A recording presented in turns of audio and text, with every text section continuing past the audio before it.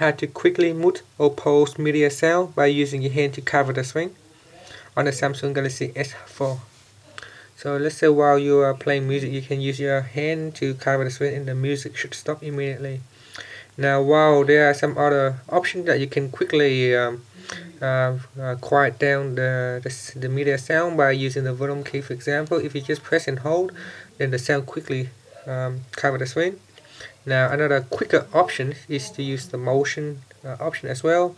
So while we're using motion, let's say we play a music track here.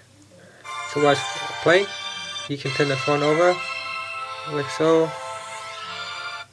So that by turning the phone over, it can quickly um, uh, pause the track.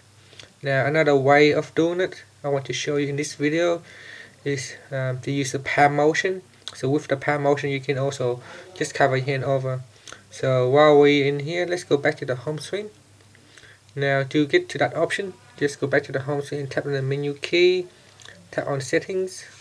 Then at the top choose my device tab. Then you need to scroll down the screen where you find input and control section.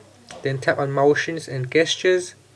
And while you're in here ensure palm motion is enabled by sliding the switch to the right and a green icon should appear. Tap into that and then you should see the pause the mute or pause option.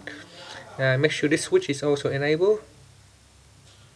Now you can also have a practice by uh, tapping on mute or pause and while you're in here tap on try it. So then you can just try um, so you can cover your hair like this and that will immediately pause um, the song so let's just do a live uh, demo. So here I have a media uh, player. So I'm going to play it. So see I can put my hand over quickly and immediately you can see the song uh, post. Now just press on the home key to finish. Thank you for watching this video. Please subscribe to my channel for more video tutorials